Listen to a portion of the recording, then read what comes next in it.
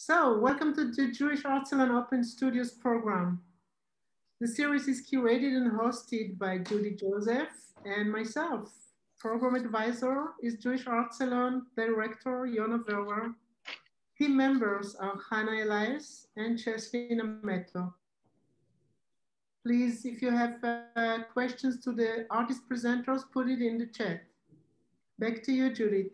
Thank you, Dorit. Uh, welcome to everyone. The Open Studios program features artists who are members of the Jewish Art Salon and responded to a call for art or were invited. This is the last program in this series, Creativity in an Uncertain Time. In this series, we've produced 13 programs featuring over 45 presenting artists and, more, and we had more than 1,400 viewer participants. It was curated and hosted by Dorit, Jordan Dotan, and myself. Uh, please watch your inbox uh, and the Jewish Art Salon website for dates for our next series, After the Flood Regenesis. We received many strong submissions, and Dorit and I will be contacting all of the artists who submitted shortly. The new series will begin in May, and the dates will be announced soon. Our featured artists today are Berit Engen and Yohanan Petrovsky-Shtern. Our third artist, Shoshana Brombacher, unfortunately will not be able to present today. Her mother passed away just a few days ago. Despite her loss, Shoshana still managed to record her presentation for us, but unfortunately there were technical problems with the file and we are unable to show it. We will invite her back in the next series when she can be with us in person slash on Zoom. Uh, our condolences go out to Shoshana and her family. Uh, today's artists, Berit and Yochanan, both have bio biographical similarities in that they are both uh, products of Europe. They grew up in Europe, uh, but their work is quite different. Um, they both came to Judaism as adults. Both have immersed themselves in Jewish studies, including uh, Hebrew and Yiddish. Uh, Berit's work as a weaver springs from the Norwegian tradition of weaving, while her content is mostly Jewish. Yochanan's visual art is influenced by folk art that he saw growing up in Ukraine and also fine art and is full of Bible and Yiddish folk tales. Berit's work has the spare, reserved refinement of the Scandinavian aesthetic, while Yochanan's is exuberant, brightly colored, and emotional. Jewish culture for them is viewed a bit more objectively and uniquely than it is for those of us for whom it was the default environment. And this adds a level of cultural richness and complexity to their work, which appears deceptively simple. For both of them, their work is self expression, but it's also a love letter to Jewish culture and ideas. Um, here is Dorit. Dorit will introduce Berit. Shalom okay. to you all. And first, I'd like to send our friend Shoshana Brombacher my deep condolences. In our last Creativity in Uncertain Time session, I'd like to thank the Jewish Art Salon and Yona Verwer for inviting Judith and I to co-curate and host this program. Learning how to curate and run a virtual Zoom program was challenging. Judith and I have online curatorial meetings. We learn as we go and explore the benefits of the virtual era. We have been flooded with emails from artists who expressed how much they enjoy the programs and how important it is to have this platform to stay connected and share their creativity. Curators of museums and galleries and Jewish magazines regularly attend the sessions. Judith and I will be happy to answer the questions about our co-curating work if time allows, as we have a little more time today. Our first presenter is my dear friend, Berit Engen. She began weaving as a child in Norway and now practices this ancient craft, the centuries old tradition of expounding on Jewish texts. Her ongoing project, Weft and Drash, weaving a thousand Jewish tapestries, began in 2007, consists to date of about 600 pieces. She compares her small scale linen yarn tapestries to Japanese haiku, formally concentrated by miniature size imagistic and focused, yet elusive. Her work has been shown in solo and group shows, including exhibition at the Spertus Institute in Chicago in 2012 and 13, and the Janice Charach Gallery of the JCC of Metropolitan Detroit in 2018. Her work is part of the permanent collection of the Chicago History Museum and has been featured in Lilith magazine. A 10-piece commission on the Sinai story permanently installed at the entrance of Sanctuary of Temple Har Zion in River Forest, Illinois in 2020. She is co-editor of Out of the Narrows, the artist's Haggadah 2021. Berit, you can share your screen and go ahead. And I showed the tapestries in a solo exhibit at the Oak Park Public Library last spring. But unfortunately, the library closed 10 days after the opening because of COVID.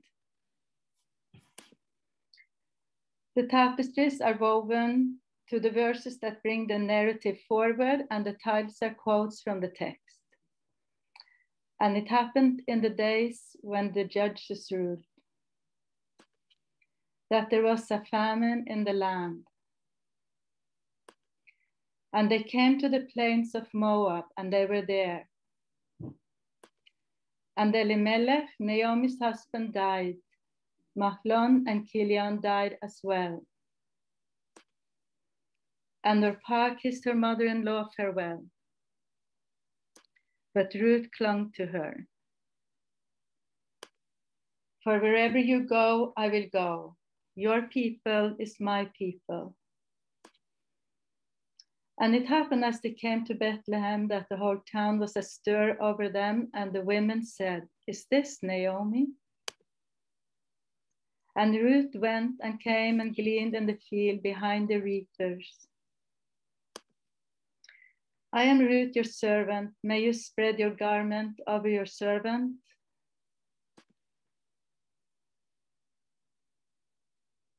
And all the people who were in the gate and the elders said, We are witnesses. And Boaz took Ruth the Moabite, and she became his wife, and he came to bed with her. And Naomi took the child and placed him in her lap and became a nurse for him. And this is the lineage of Peretz. Peretz begot Hezron, and Jesse begot David.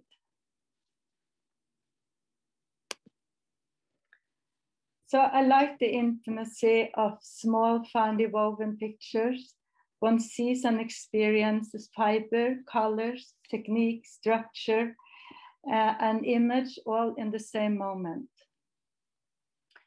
I also like reading stories, and the small format lends itself well to that, especially time wise, even if it takes me five to six days to completely finish one tapestry.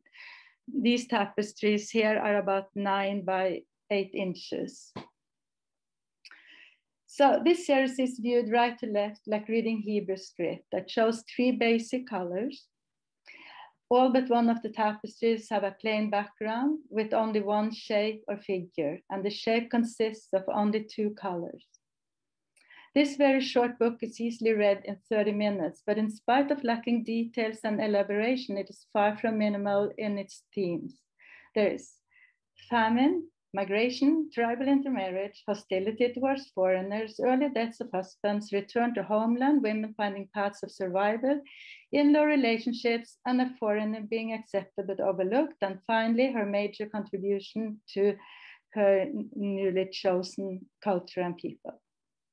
Needless to say, the book is quite relevant in our time, and that is an aspect I really love about biblical text.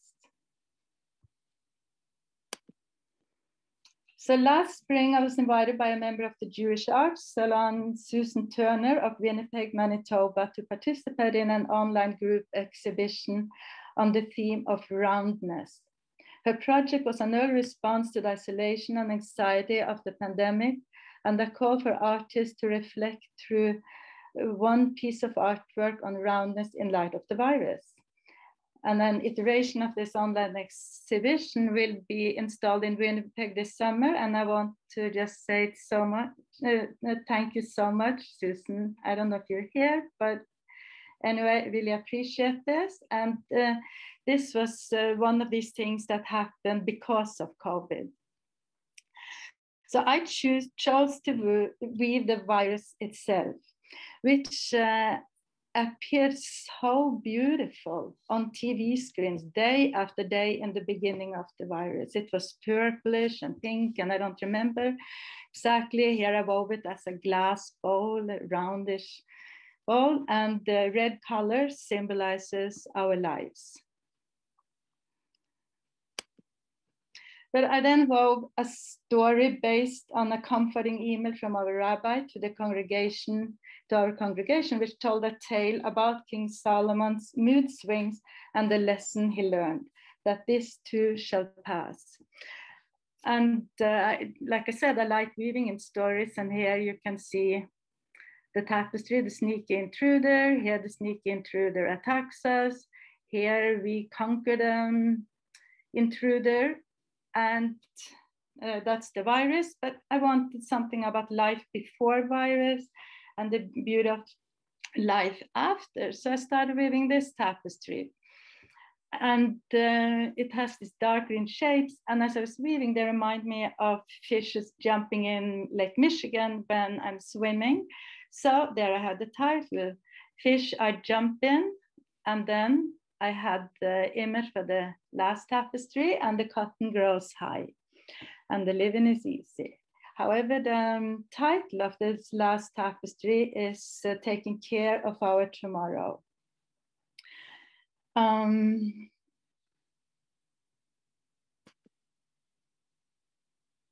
so then, let's see here. Um, just, okay. So as things started to seriously shut down last spring, I started a series based on three true stories of isolation. Unlike our story of COVID, they took place in darkness and silence. And I will begin with the Dead Sea Scrolls, the most important archaeological find of the 21st century. And for years, I wanted to weave the ceramic jars that the scrolls were stored in for about two millennia. Here they are seen from inside the cave in which they were discovered as they are leaving Qumran, the site in the Judean desert where they were miraculously found on the day, one day by shepherds.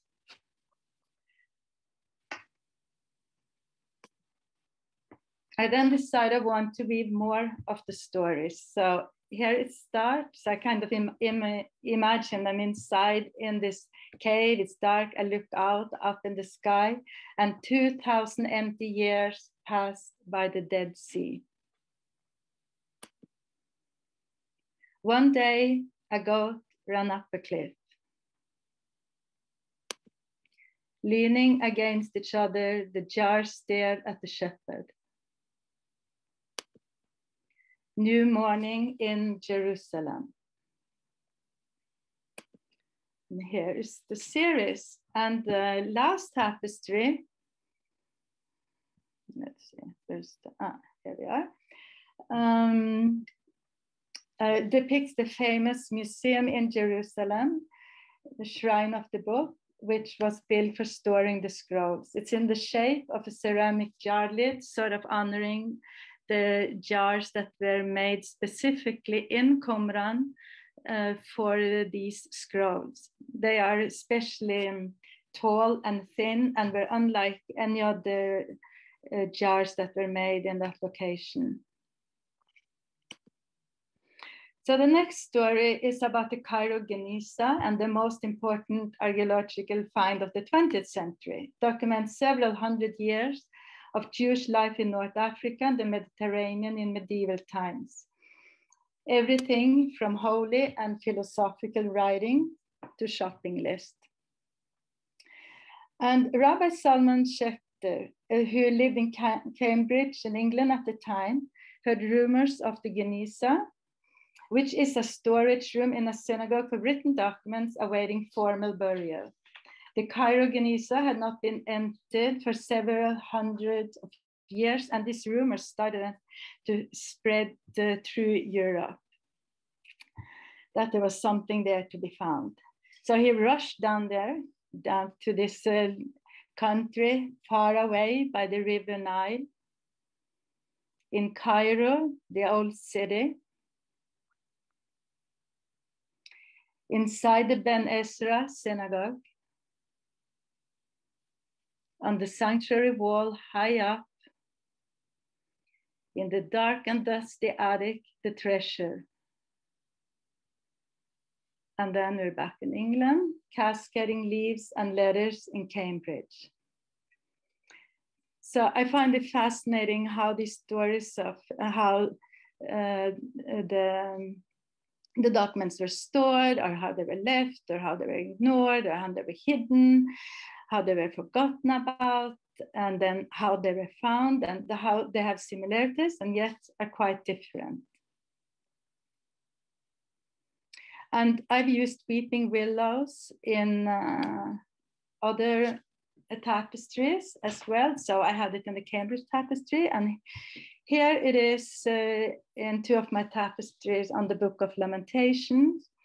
And the willow tree for me is not just, I think it's beautiful and cascading, but the leaves, the, least the way I like weaving them, they remind me of the basic shape of uh, Hebrew letters.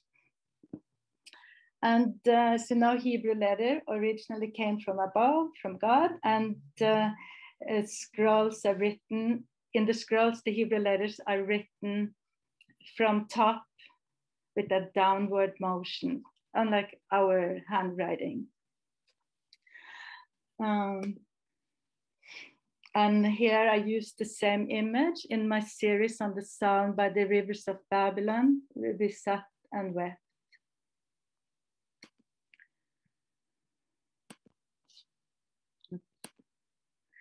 And the third story is from the underground archive in, of the Warsaw Ghetto during and after the war.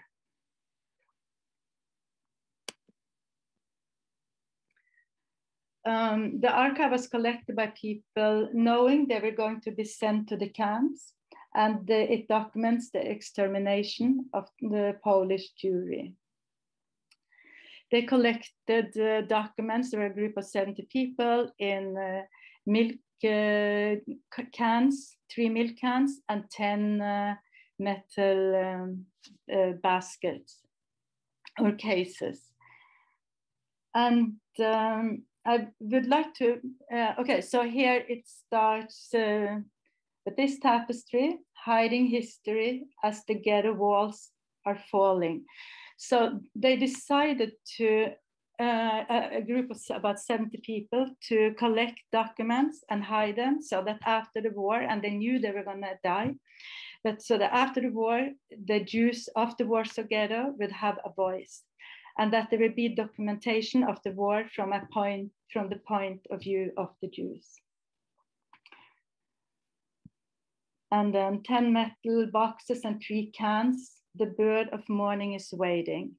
So this is uh, the shiver bird. Oops, sorry. Um, how do I get back up? Yeah. Let's see. Yeah, the shiver bird. Um, uh, the, the bird of morning. That's from a poem by the Yiddish poet Itzik Manger, who survived the war and returned to Warsaw, which was at the time before the war was the center of Yiddish culture in Europe, and um, and there was nothing left. And uh, he talks about the shiver bird, the bird of morning flying around. And I've used that image here. The, the shiver bird is sitting, oops, uh, sorry about that, waiting.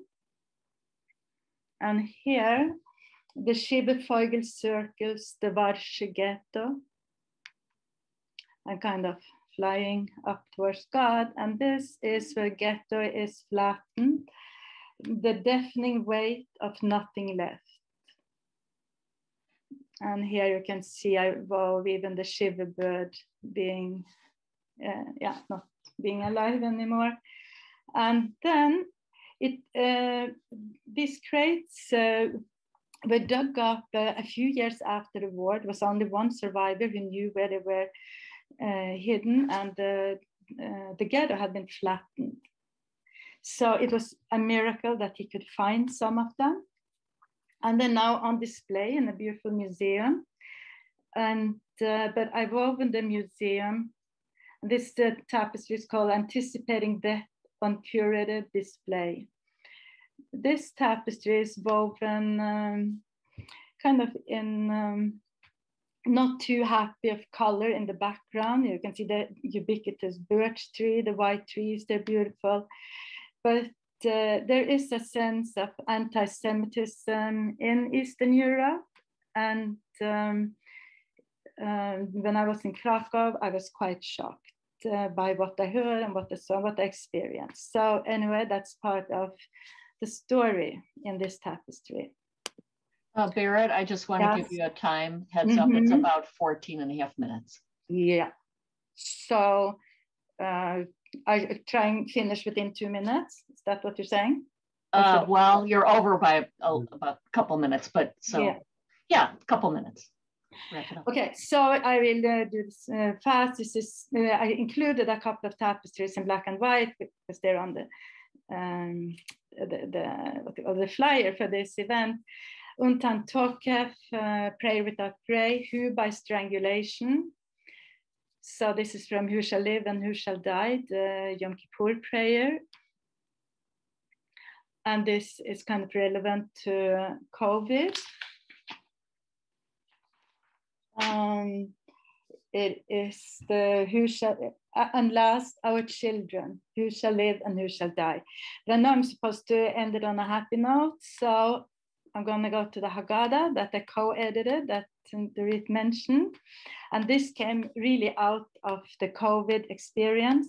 Then at the very end, uh, I use Scandinavian linen yarn. I have about 150 spools. It's high quality uh, yarn for weaving artwork. All I need, apart from that, is a frame and a fork, and then I need good shoes to keep my thinking straight. And I need daylight, you can see it's coming in from the side there. And this uh, picture was taken about, uh, I was 26 at the time, so it's 40 years ago. And I had already been weaving then since I was 14. Okay, that's it. Mm, thank you. so. Oh, thank you so much, Berit. And what a stupendous uh, presentation. And um, you have so much work that I know that it was an incredible challenge for you to fit it all into uh, this tiny time constraint. But I have to say that sometimes um, it helps us kind of distill our work when we have a limited time, you know, really pick out the best, which I, I can't, I don't know, all of your work is the best. but um, there's a lot of praise and comments in the in the uh, chat. And I noticed that Bruria had a question for you. So Bruria Finkel, if you'd like to unmute yourself, please, and ask your question.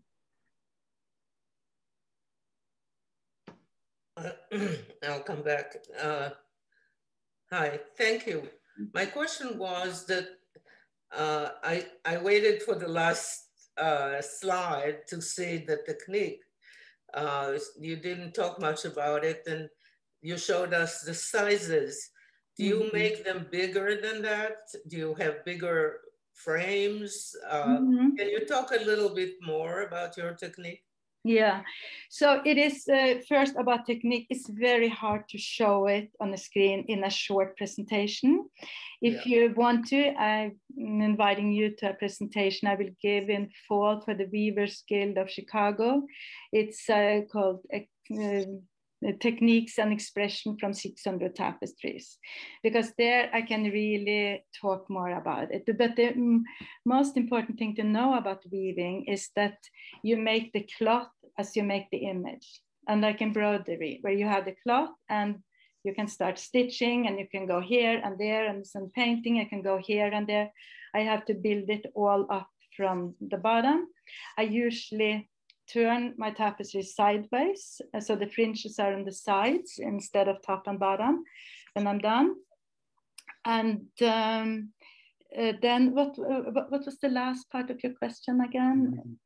How large? Yeah, do I make them bigger? So in this project, they're all small, uh, like uh, nine by seven inches. But yes, I have made bigger and I have a beautiful, huge American tapestry loom in walnut tree, handmade in Oregon. I don't use it. It makes me look very interesting, but I don't use it right now. I can't part with it though. Wonderful. Thank you so much. It was amazing. And I love your work and I know your work in person. And I would like to, to hear a little bit. I mean, I know about it too, but maybe other people want to hear a little bit about your intense project of our Haggadah. Yeah, thank you for asking. So that started so after uh, Haggadah last year, we started to think. Three of us, we wanted to make an artist Haggadah. And three of us, we are co-founders and members of uh, JAC, Jewish Artist uh, Collective uh, Chicago. And um, uh, and uh, we're about 10 to 11 members. And three of us really wanted to do this. And uh, it was a little bit back and forth because it is a big project. It, and it doesn't seem like that in a way now that we can go to haggadah.com and just copy and paste but somehow one has to know what one is doing and uh, because when things go on print everything changes. When you're responsible really your name is there on a printed document.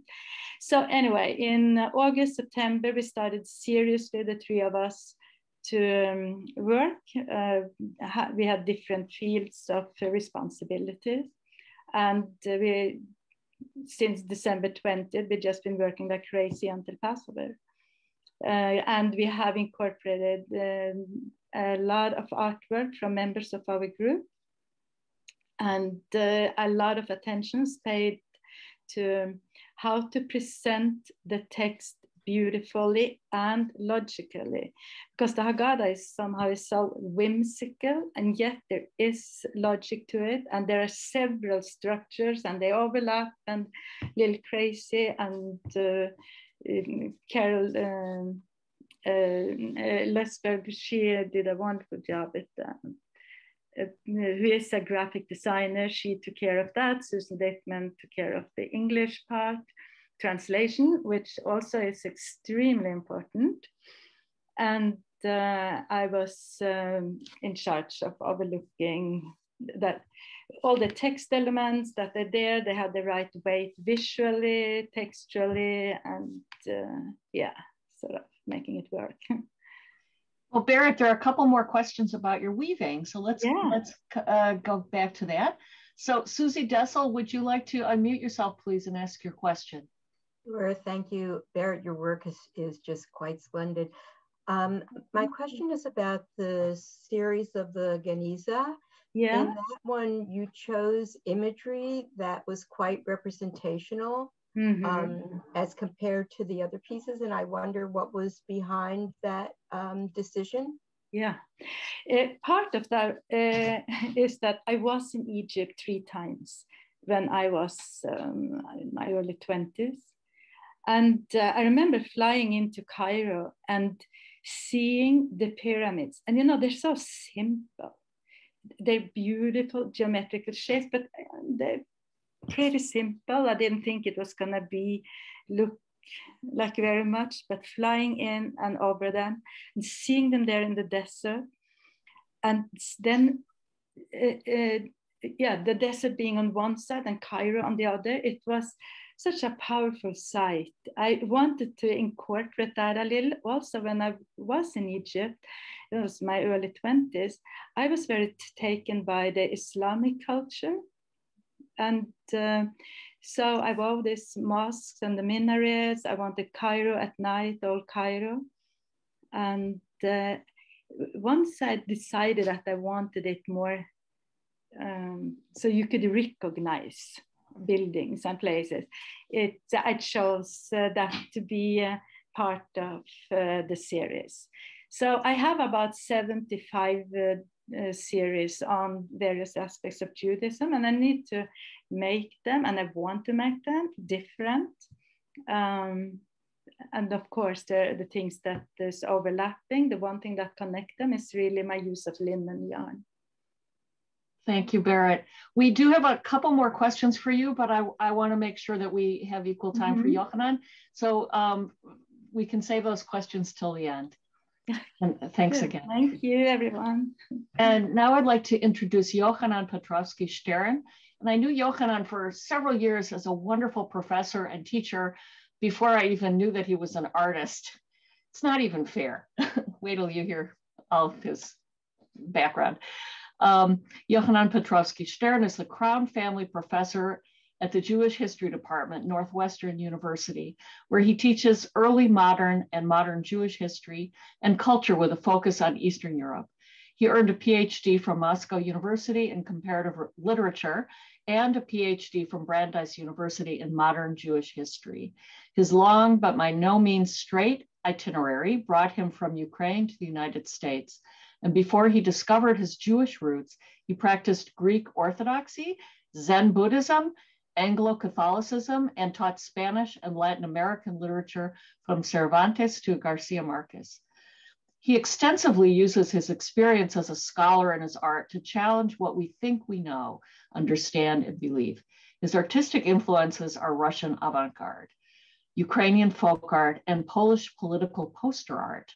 He has had solo exhibitions of his art at the Spertus Institute in Chicago, the Ukrainian Institute of Modern Art of Chicago, the Ukrainian Museum, New York, and Vozhnitsky Art Gallery in Lviv, Ukraine.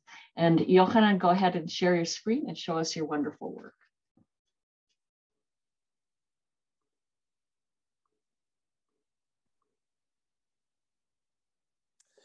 Um, thank you very much, Dorit and Judith. Do you hear me well? Yes. Yeah, good. Um, I consider the um, topic of our today's conversation as a question, as a personal question. So how do we make art in an uncertain time and what does it mean to be making art in an uncertain time? And when I was thinking about this question, I realized that um, uh, many, many years ago when um, I started to work in the studio of uh, David Miretsky, um, my uh, mentor in Kiev uh, back then in the 1970s, um, I also started my work in the uncertain times because um, uh, the person who is on your right hand side, uh, you know, my mentor, uh, was arrested for participating in an unauthorized rally um, um at the site of a major Jewish massacre in Ukraine. And um, so I was finishing my um, uh, picture uh, on your left hand side uh, which is called just Pirates. Um, uh, I was working on it when my mentor was under arrest. Um, a couple of years later, um, my um, dad and I were in a fight and I was kicked out from the house. Um, um, I spent time in the house of my friend and just as a token of appreciation, I decided I will paint a fresco um, on his um, on his wall. Uh, so on the right hand side, me in a very uncertain time of me when I'm just um, kind of orphaned myself um, and uh, exiled myself out of the house of the parents. So I'm um, uh, creating um, a picture on um, on the wall, uh, which is um, which is a long piece. It's about uh, one, two, three, four, uh, four and a half meters to a meter and a half. You can translate it in feet. Um, um uh, just multiply into three. Um, so um, that is another example of uh, me creating art in uncertain time. And uh, penultimate uh, pre-story in my story is when uh, when I was on the brink of not getting to um, grad school in 1984 in Moscow, and instead I was uh, almost sent to the um, uh, Soviet army, and I had to serve in Afghanistan. So um, and um, uh, prefiguring that I might be fighting for the uh, imperialist interests of the Soviet Union in uh, Central Asia, um, I turned to, um, again, Ukrainian folk art, and I did this um, Eye Beast, uh, the last thing I did before 20 years being artistically silent, so to say. Um, uh, my uh, uh, next story um, starts uh, exactly in the time of a very great uncertainty when I am uh, almost denied tenure at Northwestern University and ruining my career. It didn't happen, uh, but, but I was really in the situation when I was on the brink of losing my job and I turned to um, uh, my old uh, uh, you know, fancy Ukrainian folk tales, but at that time I decided to use my Jewish and Slavic uh, backgrounds um, and fuse them together. Um, uh, so I thought that I will be creating something like a midrash on Slavic tales. So I believe uh, many of you might know the story of um, the um, Slavic folk tale about an old man who goes to the sea, catches goldfish, and the goldfish uh, tells him, just let me go, I'll fulfill your wish. And, um, and it repeats many, many times. And the wishes that the man um, uh, articulates to this fish are about the desires of his uh, greedy and selfish uh, wife. Um, uh, so uh, in my story, the man and his and his wife um, are uh, Uh, not uh, Slavs living at the uh, uh, uh seashore, but rather, you know, Jews, and Jews do not rely on the miracle. So the old man tells the fish, why do I need you? Why do you to, to trust you and fulfill my wishes? I'd rather need um, a, a gefilte fish uh, for my uh, Sabbath uh, um, um, dinner, and he takes this golden fish and makes her into a golden gefilte fish. So uh, this is the kind of things I was inventing, and I didn't know at that time that um, uh, these inventions that really started to um, jump out of my mind and, and, and help me to create one image after another. I didn't know that they will bring me to something uh, much more substantial. Um, at certain point, um, I realized that, um, you know, um, I have like 30, 40, 50 uh, canvases, um, 12 to 18, 20 to 25 um, inches. Uh, let me try something different. And I decided to turn uh, to what Berit uh, discovered, a very succinct palette to uh, two, three, maybe maximum four basic colors had to figure out what the scholars would be about. Um, I was um, very much interested in uh, what they call in East Europe the avant-garde vocabulary. So this is one of the posters um, of uh, the Soviet avant-garde of the 1920s, early 1920s.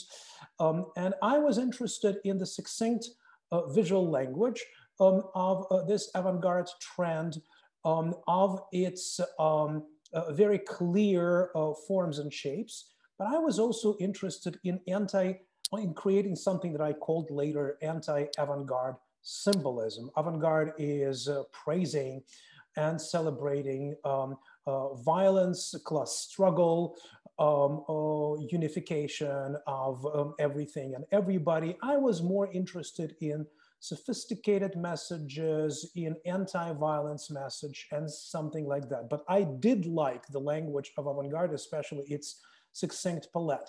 And I decided I'll take three colors and I'll create something on the Jewish theme. And I did this picture, which I called Pogrom in a shtetl, uh, like uh, the image of violence um, against a, a, a, small Jewish community somewhere in Poland, Ukraine, Belarus, wherever. And um, I used three basic colors um, uh, creating this uh, symbolic vision of uh, violence and uh, disassociating myself uh, from it. And when I showed this uh, this canvas to to my dad, who is a special who was a specialist in East European Jewish history, culture, literature, he told me this is the best thing I did. Well, it took me approximately a year to understand that what I did is a discovery. And I decided then, after a year of continuing to do my um, multicolored works, to turn to red, black, and white. And uh, since that time, I am uh, exploring um, uh, this uh, very much succinct palette of three colors, trying to uh, make it more and more sophisticated. Um, uh, by, let's say, 2009, um, uh, when I finally got through my uncertain times, got my tenure, got my uh, endowed professorship at Northwestern, um, I decided to have some more time. So I started to produce about 35, 30 to 35 canvases per year, um, uh, imitating Ukrainian folk art, bringing Ukrainian folk art images together with the Russian avant-garde style, and with the messages of Polish political poster. Why this political poster? Because in the 1960s, 1970s, Polish political poster was very much anti-imperialist, um, um, um, undermining um, kind of a message uh, that conveyed uh, the mass protest um, against Soviet occupation um, and against uh, the abuses of the totalitarian system. Uh, so I did this canvas Jewish luck after visiting um, Alte Neue Galerie in uh, uh, in Alte Neue Pinakothek in, in Munich. Um, so uh, why Jews have um, uh, Amsterdam looks um, and um, shtetl hats um, mixing um, uh, Dutch and Ukrainian uh, Jewish imagery, I don't know, maybe you know. Uh, but what I wanted to show by doing what I was doing is that Jews are always celebrating and um, being joyous in most cases, uh, in the times when they are negligent about their very uncertain situation, when they are in suspense, where there is, uh, when they are surrounded by violence that uh, is uh, waiting uh, for them, but is not necessarily unfolding uh, in front of their eyes. It's somewhere on the back. So when people come up to this um, canvas, um, they start looking at the white figures because, you know, they are catchy. Um, and uh, when they step uh, back uh, two, three, four uh, steps, they realize uh, what is going on at the perimeter. And the perimeter, together with the what is inside, creates kind of a, um, a tension of a meaning, tension as a meaning uh, that uh, is um, in the focus of my uh, attention. Um, uh, what I am uh, doing in um, when I'm creating my artistic works, including that one, which is called Hitler in Hell, um, I um, usually create sketches um, and I destroy sketches. I say sketches and no sketches, meaning that I make my hand remember what um, I'm trying to uh, put on canvas. And unless my hand remembers uh, the visual material that I need, um, I'm destroying the sketches. Once I think I know what I'm doing, um, I um, put a thick um, gesso, thick layer of gesso on canvas. When it dries out, I do pencil sketching uh, of what I need to put on canvas. Um, uh, then I cover this uh, pencil sketch with another layer of white zinc uh, so that I would not see even the traces of pencil. So it'll be just a plain black, uh, plain white uh, surface. And uh, then I put red cadmium, medium hue, the, the, medium hue. This is what I usually use for red and Mars black. Um, in most cases, it is um, heavy body golden colors. Um, golden is a company that produces this um, acrylic colors that um, um uh, look like uh, oil. Uh, when they dry out, you can touch the surface. It creates um, a kind of a, a 3D surface, um, you know, and uh, you you do see that it is uh, like oil cover, although it is definitely acrylic. Um, uh, so meaning that um, I am trying to uh, create the painting only when I uh, do know very well what I'm doing. So uh, improvisation um, is uh, somehow uh, playing itself out when I'm creating things, especially in details, which I do not put on canvas um, and do not even plan when I'm sketching things but they but the details um, of course, is something that um, I improvise um, at the very last moment. So Hitler in Hell um, uh, when we are thinking about the punishment for the uh, perpetrators of genocide uh, and uh, the uh, people who masterminded the Holocaust, I'm thinking about those three, um, those four who are, I believe, uh, somewhat recognizable: Hitler, Goebbels, um, um, Goering, and, and Himmler, um, whom I place in the hell, and I make them learn Hebrew, eat matzah, wear talis, and be covered with yarmulke. So I believe if you think about the worst punishment for those um, uh, for those schmucks, uh, the uh, what I'm creating for them um, um, is something that cannot be worse. You can place them as Dante does in the Cocytus, uh, this um, ice circle um, at the very bottom of the ninth um, uh, circle of hell and make devil chew them, but I think it would not be as painful for them as uh, this particular punishment. Um, when I am um, working on this um, uh, plots, I'm always uh, thinking that I'm creating a kind of an apocrypha. That is to say, I take very well-known myths, um, ideological, biblical, um, textual, literary, and I put them upside down. Um, and it is not just uh, the um, um, intent to put myths upside down, but rather it is an intent uh, to undermine what we uh, know uh, about. And uh, of course, uh, we very often use myths to explain things um, whatever you might think about biblical myths we use in order to explain uh, what we are, who we are, why we are here, what we do, and how we think. So I am um, trying to undermine uh, those myths and asking a question, um, is it really so? Um, uh, uh, Berit uh, mentioned today uh, that cotton uh, is high, um, uh, ref referring um, to, to Gershwin's Porgy and Bess. So in Porgy and Bess, there is this famous um, um chorus where they are singing, it, it, it, ain't necessarily so. So this is one of my mottos. It's ain't necessarily so. Um, so um, when I am thinking about myths that I'm undermining, um, um, and that I'm using. Um, uh, of course, biblical myths are um, occupying the first and foremost place in my thinking. So uh, this is Babylonian Tower. Babylonian Tower that you know very well um, from the end of uh, Parashat Noach in, in, uh, in the book of Genesis. Um, uh, Jews uh, are, you know, before they are Jewish, they are building Babylonian Tower uh, with its head that is trying to reach heavens. And everybody thinks the higher you get, uh, the more utopian the world um, appears. Uh, but I am uh, using this particular myth to ponder not only um, um, uh, what does it mean to build um, a Babylonian tower, but also what does it mean to build um, a new society, to build a new state, uh, to create an ideologically uh, vibrant uh, socialist uh, society. Um, of course, I'm a survivor of communism and, uh, you know, um, communism is sitting in my liver. Um, um, I lived 30 years in a communist country. I know it inside out.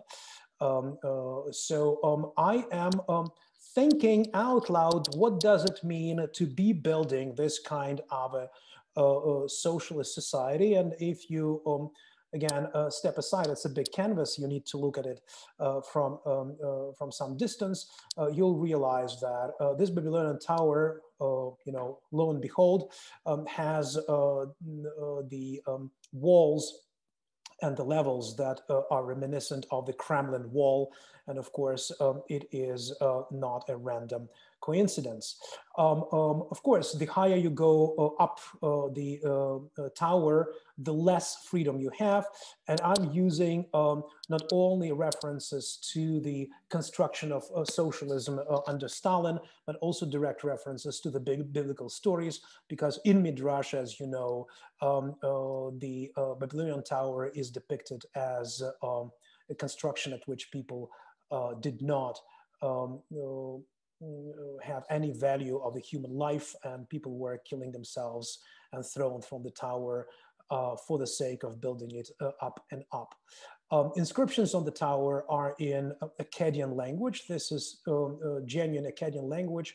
Uh, the upper line says, we will bring it to He, meaning then, um, and um, uh, the, uh, the lower um, poster that the girl is holding says, to heaven. So uh, this idea of uh, constructing utopian world um, is conveyed uh, through um, Akkadian language uh, of the 25th century BCE that everybody recognizes, can read and knows. Um, uh, my uh, left-hand side picture is another well-known myth, um, Pied Piper of Hameln, the guy who saved the city of Hameln uh, from rats. And when he was not paid, he took his um, uh, flute and uh, moved all the kids uh, from the town, uh, bringing them to the um, uh, cave in the hill where they were hidden from the 12th century onward. the horrible story of the kids lured um, from the town. So um, I'm using this old German myth again to ponder uh, the uh, communist myth that is uh, luring the children um, in the socialist country into something that I consider um, a cave um, in the um, hill. Um, uh, of course, they are celebrating their get together. Uh, they are rejoicing that they are finally, you know, um, stretching their hand to the humiliated and oppressed, but they do not know where they are going. I am uh, one of them. I have my self-portrait uh, among uh, the crowd, um, uh, somewhere um, uh, in, the, in the crowd. But um, like uh, others, um, I pretend not to know where the leader is taking us. Um, now, um, perhaps you realize that although I like working with the acrylic, heavy body acrylic color that creates an impression of, uh, of this rough surface um, on the canvas. Um, I do translate 3D into 2D. So I'm trying to flatten uh, the uh, colors and I'm trying to flatten the um, um uh, image of what I'm doing um, in order to tell um, um, in a simple way a very complex story. So uh, my simple way is this 2D representation and the stories that I'm trying to create, uh, um, uh, from my perspective, challenge uh, received wisdom. We Yochanan, excuse yes, me for, yeah. for interrupting you, I'm sorry. Um, I just want to give you a time warning because we want to have a little time for questions. There are right. questions for you. I'm, okay. I will I will be done in two minutes. Is it okay? Sure. Okay, so uh, we were discussing Haggadah and coming out of Egypt. Uh, so um, uh, here you have something related to uh, Jews crossing the Red Sea. Um, and of course, uh, they are not crossing it, uh, um, you know, walking the bottom. They are crossing it in a paper um, um, ship uh, on which uh, which is made, this paper ship is made of Shirat Hayam, of uh, Miriam's song after crossing the ship. Uh, why so? Why it is my version of Exodus? Because, because I think Jews are always in the midst of Exodus that never finishes. And uh, the, um, uh, the, the Holy Land, the Promised Land, is somewhere in the horizon that is not even seen.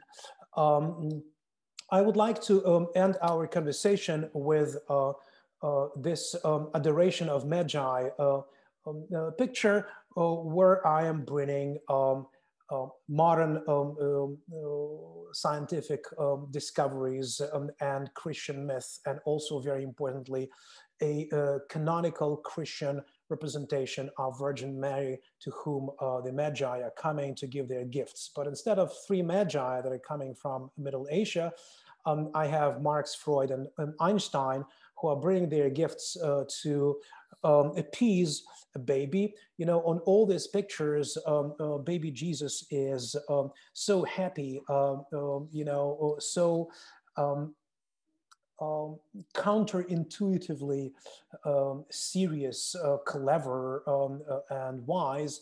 And I know that babies are crying as my, you know, 11 month daughter is doing right now in the first floor of the house. So uh, nobody is showing baby Jesus crying. So um, I am uh, kind of undermining Christian canon of um, representation of uh, adoration of Magi. And, and of course, uh, my Magi are bringing their um, um artifacts, are bringing their uh, inventions. Uh, Freud with his idiosyncratic cigar, Marx with his red flag, and, and Einstein with his um, model of, of atom. Um, and of course, they do not appease baby Jesus. He is still crying. Um, uh, but uh, it doesn't mean uh, that they should not um, continue doing what they are doing. Uh, so um, this is what I would like to uh, share with you. I'll be happy to answer your questions. And um, uh, basically, um, oh, I should end up by saying that despite my heavy teaching on both sides of the Atlantic, um, I am um, uh, trying to create art wherever I am in a very uncertain situation where I do not have an easel and I do not have an easel. I usually keep my uh, 48 to 48 um, uh, size canvas on my hand or put it uh, on a bookshelf um, uh, and uh, making sketches uh, wherever I am, uh, driving through Slovakia, or um, you know, being in an attic in a museum in Lviv where they gave me uh, a space uh, to do a big size canvas. Thank you. Thank you so much, Yohanan. This was fascinating journey.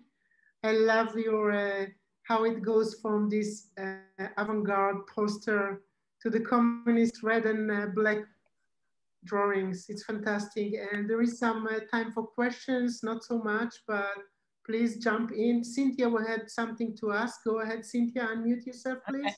Thank you for a wonderful presentation. And before my question, I just want to say I really appreciate the way that you've limited your color palette and translated into flat, very, your 3D into 2D that still maintains 3D.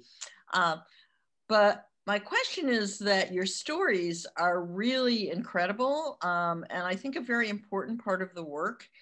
And I wondered if you had thought about either collaboration with yourself, with your other half, with your scholar half, or with someone else. And I meant to write poet in the um, chat, but it came out with a different word. Uh, a writer, or maybe invite comments. I mean, I just see this as as a as a book in some way that would have the image and the text. So. Uh, uh, thank you. Um, I was uh, thinking about the book uh, uh, since the get-go. I usually um, create my own um, uh, one, two line um, in, uh, captions for my um, um, for my artwork, not to tell people what I'm trying to say, but to give them um, some sort of a question that uh, helps them to make a bridge, create a bridge between them and the visual material. I did not include any of those captions here uh, because you know you have my live voice. Why do you need my dead letters? Mm-hmm. Um, uh, but um, several people, including um, a professor uh, in Slavic and art history here at Northwestern, told me that I have to um, find a person who would create texts for my um, uh, for my um, canvases. Um, I even started to create a separate uh, series of works, none of which I showed, um, uh, taking by taking uh, the Brothers Grimm uh, uh, tales, mm-hmm. creating my midrash on Brothers Grimm, um, and um, uh, thinking that um, the um, that, that, that a writer interested in um, what I am doing visually would create his or her version of Brother Grimm stories that would be then put together uh, somebody's text and um, um, and my visual material, but it did not happen. Um, I'm trying to to entice uh, my sister, who is a German writer, best-selling writer, to do that with me. Uh, she is still thinking. I'm asking her for already six years. Okay, I, I, just wanted to add, I would see it more as poetry, as something really brief, because your images are so strong, and I would be concerned if the text overpowers. But that's from my little perspective here. Thank you, Cynthia. If you if you know this poet, uh, um, you know, um, at the end of this presentation, you see my email, so I would be more than happy to cooperate. I'll think of a few poets, but who knows? Okay, okay thank you. You can put your email in the in the email and uh, your website if you like on the chat, so everybody okay. can uh, just doing yeah. it right now. So if anybody have any other question to Yohanan or Berit, are welcome. There are questions in the um, in the chat, but I do not have time to read them. Yeah, um, let me just take a quick look. Um, Do we need to know the stories? If so, can they be incorporated into the presentation? Collaboration with the set writer. Yeah, oh, uh, Cynthia, this is this. Yeah, this yeah, is. Yeah, and it wrote it wrote set. I meant poet. I don't know right, how right, right, spell checker got from poet to set. Basically, I'm working with the stories that are known. Um, um, if uh, people do not know the story, I give one, two sentence long um, context in my caption. Hannah had a question for both uh, Yochanan and Berit, it looks like. So Hannah, would you, Hannah Zelig, please unmute yourself? Well, first of all, I want to thank um, Dorit and Judith for how you put together these two artists. And not only because I, they were from Chicago and I appreciate that, but um, they're both so related in a way. And I think it has to do with what Cynthia said about poetry.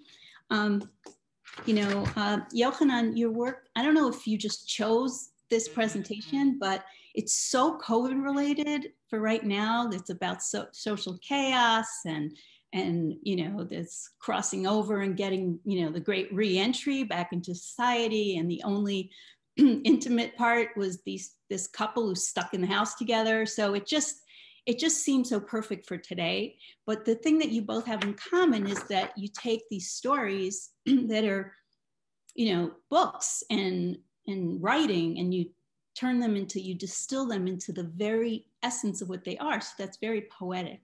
And um, particularly Berit, you weave I mean, you weave these things that are all letters, you know, the Book of Lamentations and the Book of the Liturgy and the Book of the Ghetto you know, the Cairo Geniza, but particularly the book of Ruth, because the holiday of Shavuot is coming up and we read the book of Ruth.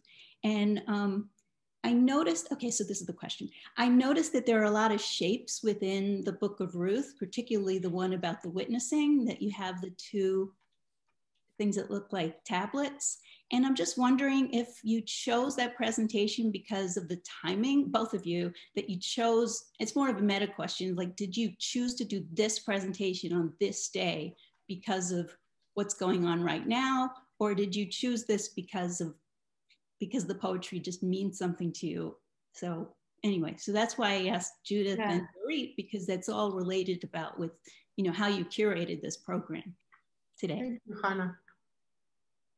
Okay, so uh, Hannah, so nice seeing you, and thank you for your words. I just um, I was a little confused there with the muting and unmuting. So let me just ask you: Did you ask uh, specifically about that tapestry, and then why did I choose to show uh, this series? Is that what you asked? Yeah, that one tapestry. So, yeah was so Shavuot related, especially because wow. Ruth is yeah. coming up. So I want to know that. Right. Also because of okay. because of both of your decision to do what you did today that yeah. related to what's going on kind of in the in the kind of zeitgeist. I just was yeah. Good. So is there a chance I can share that uh, tapestry if I do share screen now, Judith? Um, so people I know what I can share it. About?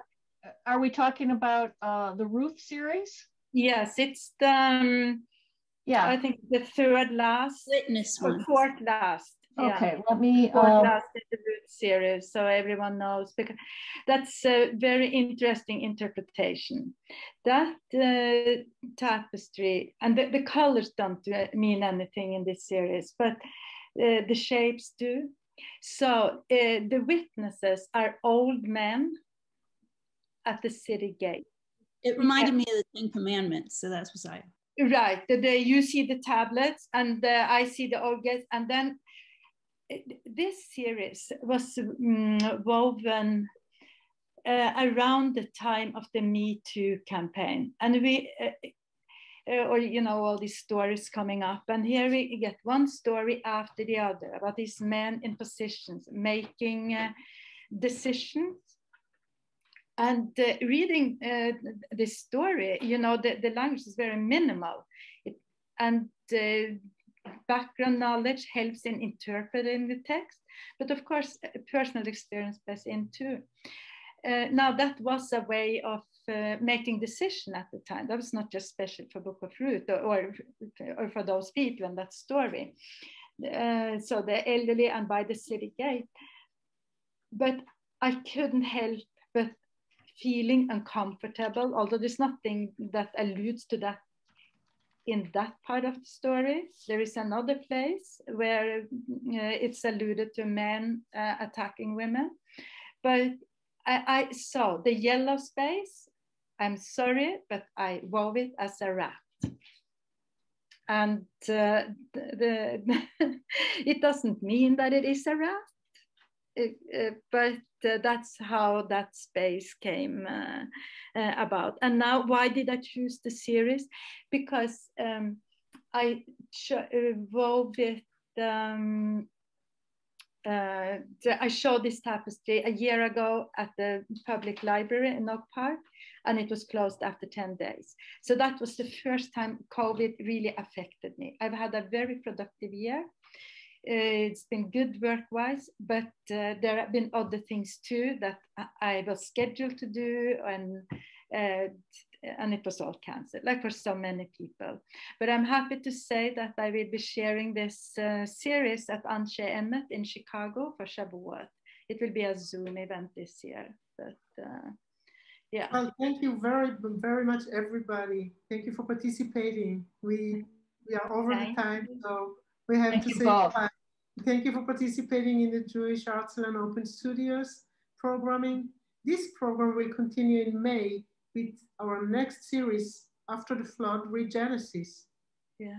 We will be announcing dates shortly and we hope to see you then. So have a nice day wherever you are and nice evening here in Israel.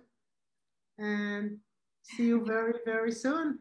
We'll see you next month. Thank you, Yohanan and Berit. Thank you. Thank you. Thank you very much, Dorit and Judith. Thank you. Judith okay. and Dorit and everyone. Thank you.